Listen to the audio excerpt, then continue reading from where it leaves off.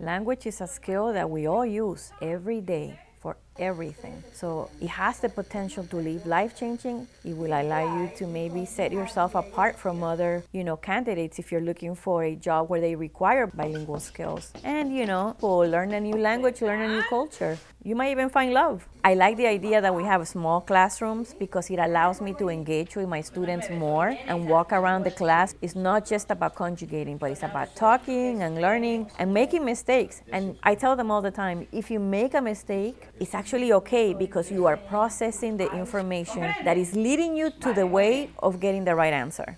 The best part of my day is when I'm in the classroom. It really is. It's fun. I feel that they understand how important it is, and we're all there for the same reason. We are committed. The class is never boring. It's a laboratory of language where you're learning, you know, new things every day and you're experimenting. So that's that makes it fun. Who doesn't want to do that?